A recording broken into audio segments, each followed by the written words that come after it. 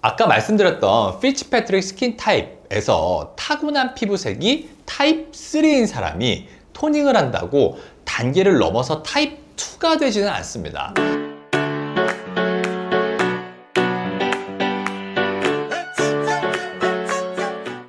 안녕하세요. 피부과 전문의 심혜철입니다. 안녕하세요. 아나운서 홍재경입니다. 반갑습니다. 반갑습니다. 네, 원장님, 요즘 cool tone, warm tone이라는 이야기 들어보셨어요? 네. 우리가 요즘 일반인들 사이에서 이제 personal color라고 해서 네. 이제 뭐 본인의 피부톤을 뭐 cool tone, warm tone으로 나눠서 이제 판단을 하고 이에 따라 여기에 어울리는 뭐 화장, 뭐 옷 등을 match up 한다는 걸로 알고 있습니다. 네, 맞습니다. 그래서 사실 많은 여성들 사이에서는 본인의 피부톤이 어떤 톤인지 좀 알고 싶어 하거든요. 쿨톤, 웜톤. 이게 좀 의학적으로 접근하면 어떻게 해석을 할 수 있을까요?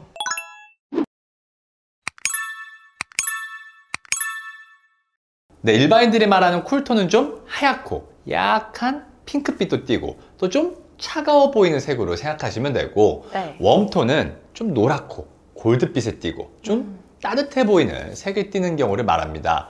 자, 당연히 의학적으로 이렇게 나눈 구분은 아니고 우리가 이제 의학적으로는 Fitzpatrick skin type이라고 그래서 피부색에 따라서 6개로 나누는데 한국은 3번, 4번이 가장 많습니다. 1번, 2번에 가까울수록 우리가 말하는 이제 cool tone에 가깝고 3번, 4번에 가까울수록 warm tone에 가깝다고 할 수 있겠습니다. 어, 그렇군요. 저는 이런 이야기는 또 처음 듣는 것 같은데, 음. 그럼 저는 약간 지금 좀 타기도 탔고, 웜톤을 띠는 것 같은데, 음. 이게 쿨톤과 웜톤에 따라서 어울리는 색이 딱 정해져 있나요? 뭐딱 정해졌기보다는 인데 있습니다. 우리가 보통 쿨톤에 가까운 사람들은 은색이 좀 더 잘 매치업이 되고 음. 웜톤에 가까운 사람들은 금색이 좀더 잘 매치업이 됩니다. 자, 뭐 당연히 이제 취향 차이가 있을 수 있지만 색깔적으로는 좀 차갑고 창백한 느낌이 은색, 좀 노랗고 따뜻한 느낌이 금색이 어울릴 수 있습니다. 네, 그런 것 같아요. 음. 듣고 보니까 음. 제가 요즘 그래서 되게 골드 악세사리가 네. 눈에 띄더라고요. 네. 그렇다면 음. 옷이나 이런 머리 컬러, 헤어 컬러 같은 경우에도 쿨톤, 웜톤에 따라서 좀 다를 수가 있나요? 뭐 당연히 개인적인 취향에 따라 선호도는 다를 수 있겠지만 이제 쿨톤은 좀 선명한 색 그리고 이제 푸른색 계열 그리고 뭐 핑크색 이런 것들이 좀 잘 어울릴 수 있고요. 자 웜톤의 경우에는 좀 아이보리, 베이지, 뭐 오렌지색 등 좀 쨍한 색이 아니라 좀 연한 색이 어울릴 수가 있습니다.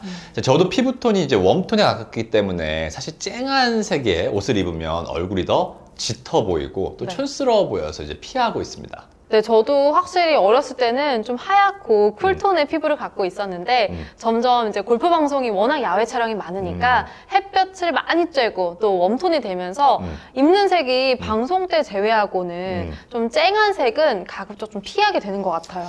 네, 이제 머리카락도 쿨톤인 경우에는 어두운 색깔이 더 잘 어울리고요. 자, 얼굴도 더 하얗게 보일 수 있고요. 또 웜톤의 경우에는 좀 밝은 색의 머리카락도 더 잘 어울리게 됩니다. 물론 취향 차이긴 하지만요. 네, 일단 제 취향은 음. 사실 블랙 hair거든요. 음, 음. 그런데 방금 원장님이 이렇게 컬러에 대해서 음. 잘 풀어주시니까 음.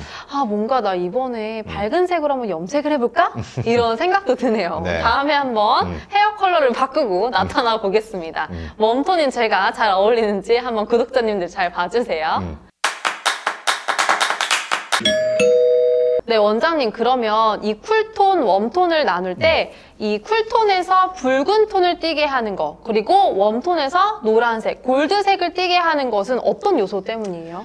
자, 이제 얼굴에 붉은 톤을 띠게 하는 것은 이제 홍조, 즉 혈관이고, 우리 갈색 톤, 약간 노란 톤에 띠게 하는 것은 멜라닌인데, 자, 이것보다 유독 더 누런 사람이 있습니다. 자, 음. 그쵸? 우리 주변에서 보면 누런 사람 있잖아요. 맞아요. 네, 왜 그럴까요? 뭔가 웜톤 정도가 아니라 음. 뭔가 황달처럼 더 누렇게 보이는 사람들이 있어요. 네. 자, 얼굴에 노란 톤을 띠게 하는 경우에는 첫 번째 빌리루빈 수치가 증가하는 흔히 황달로 알고 있는 것과 두 번째 특정 음식 섭취로 생기는 캐로틴 혈증을 생각해 볼 수가 있습니다. 음. 자, 황달은 눈의 흰자, 이제 공막 부위가 노래지고 피검사에서도 빌리루빈 수치가 증가되어 있는 상태이므로 뭐 사실은 피검사로 이제 감별을 할 수 있는 어떤 질환인 건데 건강검진에서는 피검사상 빌리루빈 수치는 정상인데 얼굴이 노란 빛을 띠는 경우 또 케로틴 혈증을 생각해 볼 수 있습니다. 완전 병적인 상태가 아니더라도 이게 수치가 살짝 증가하는 경우에는 얼굴을 좀 노랗게 보이게 할 수 있습니다. 어, 아까 제가 바로 이야기했듯이 황달은 항상 많이 들어본 이야기인데 음. 이 카로틴 혈증은 처음 들어보는데 구체적으로 어떤 건가요? 예, 이제 케로틴 혈증은 베타케로틴이 풍부한 채소나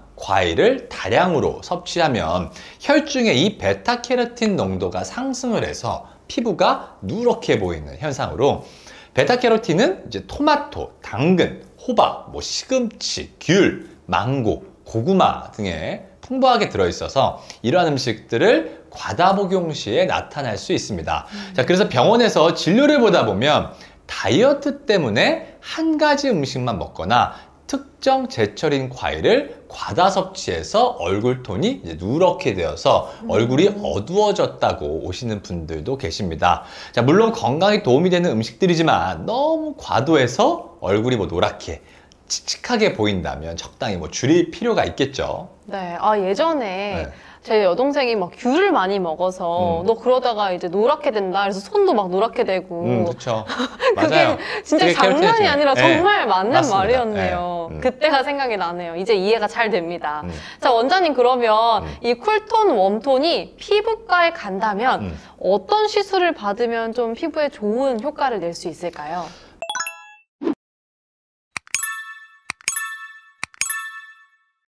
네, 이제 쿨톤인 경우에는 얼굴에 홍조를 띠는 경우가 꽤 많습니다. 자, 근데 쿨톤인 사람이 홍조가 더 많아서 네. 가 아니라 제가 예전에도 설명드렸지만 이제 흰색 도화지 위에다가 빨간 물감을 떨어뜨리면 얼굴에서 더 빨갛게 느껴지죠. 자, 우리가 TV에서 북유럽 사람들이 달리기 하는 것을 보면 양볼 빨간 사람들이 이제 네. 대부분인데 우리나라에서 한강에서 달리는 사람들 양볼 빨간 사람들 보는 게 흔치 않죠. 네, 맞아요. 자, 세계 대비 효과 때문입니다. 자, 흰색 톤, 즉 쿨톤인 사람들이 같은 정도의 홍조가 있더라도 좀 더 두드러지게 되고 그래서 이런 사람들이 피부톤이 좋아지기 위해서 오시는 경우에는 홍조 치료가 필요한 경우들이 꽤 많습니다. 어, 그러면 음. 이렇게 저 같은 웜톤을 가진 분들의 경우에는 음. 어떤 시술들이 좀 피부를 좋아지게 만들 수 있을까요? 자, 이제 웜톤의 경우에는 멜라닌 색소 자체가 더 많아서 얼굴이 어두워져 보이는 분들이기 때문에 일부러 뭐 더 태워가지고 태닝을 하시는 분들은 해당되지 않겠지만 얼굴이 좀 밝아 보이기를 원하는 분들이면 당연히 레이저 토닝이 얼굴 톤을 좀 밝고 균일하게 할 수 있습니다. 어. 제가 항상 강조하는 게 레이저 토닝은 하얗게 만드는 게 아닙니다. 아까 말씀드렸던 Fitzpatrick skin type에서 타고난 피부색이 타입 3인 사람이 toning을 한다고 단계를 넘어서 타입 2가 되지는 않습니다. 자, 그래서 제가 레이저 toning은 whitening이 아니다. 계속 받으면 밀가루처럼 하얘지는 것이 아니라고 말씀드립니다. 자, 내가 타고난 피부 타입에서 가장 밝은 톤에 가깝게 균일하게 만드는 것입니다. 자, 근데 얼굴 톤을 보면 갈색 점만 있는 게 아니죠. 네. 아까 설명드렸던 것처럼 붉은 톤, 갈색 톤, 노란 톤 등이 믹스가 되어서 본인의 피부톤을 결정하기 때문에 자, 이러한 것들을 복합적으로 잡아주는 치료가 들어가야지 뭐 맨날 멜라닌 색소를 깨는 색소 레이저만 받는다고 얼굴이 이제 하얘지는 것이 아님을 알아두셨으면 좋겠습니다. 네, 원장님. 요즘은 음. 특히 많이 사람들이 관심을 갖고 있는 이 personal color, cool tone, warm tone에 대해서 좀 의학적으로 알아보는 시간이어서 더욱더 유익했던 것 같은데요. 음, 음. 많은 분들이 본인의 personal color를 찾고자 뭐 personal color 상담소까지 방문을 하고 아, 있는? 시점인데 네. 오늘 구독자분들이 평소에 만약에 이런 부분이 궁금하셨다면 꼭 도움이 되신 영상이 되었으면 좋겠습니다. 네, 구독자 여러분도 오늘 영상이 도움 되셨다면 좋아요와 댓글 꼭 눌러주시고요. 주변에도 이런 유익한 영상이 있다고 지인분들께 널리 널리 알려주셨으면 좋겠습니다. 네. 자, 그럼 원장님 함께 인사드릴까요? 네. 오늘도 함께 해주신 여러분 감사합니다. 감사합니다.